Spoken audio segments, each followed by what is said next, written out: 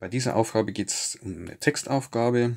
Die Summe zweier natürliche Zahlen, die sich um 8 unterscheiden, hat den Wert 52. Welchen Wert hat das Produkt dieser Zahlen? Also die Zahlen, die nenne ich jetzt x und y, x und y und unterscheiden sich um 8. Also x plus 8 gleich y. Ich könnte auch sagen y plus 8 gleich x oder y minus 8 gleich x. Das kommt alles aufs Gleiche raus. Ich nehme einfach den Unterschied, stelle ich so dar. Und es geht jetzt um die Summe. Also x plus y gleich 52.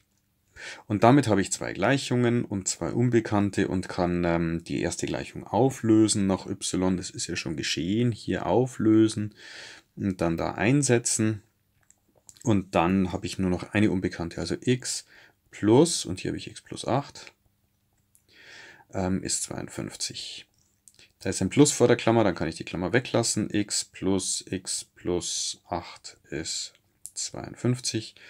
Dann mache ich hier minus 8.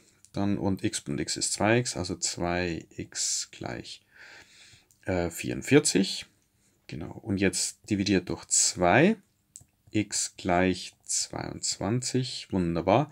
Und x plus 8 ist y, also 22 plus 8 gleich y. Damit habe ich y gleich 30. Das ist die Antwort. Ah, ne, das ist noch nicht die Antwort.